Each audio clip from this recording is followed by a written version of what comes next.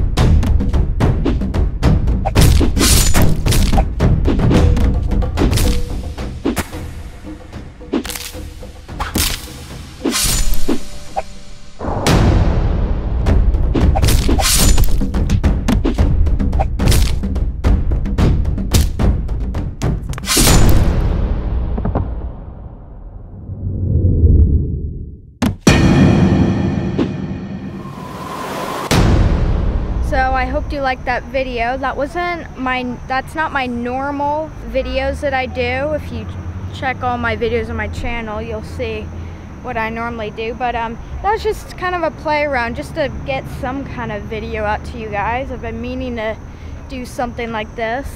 I'm not sure when we're gonna be stopped, when I can get back on stop motion.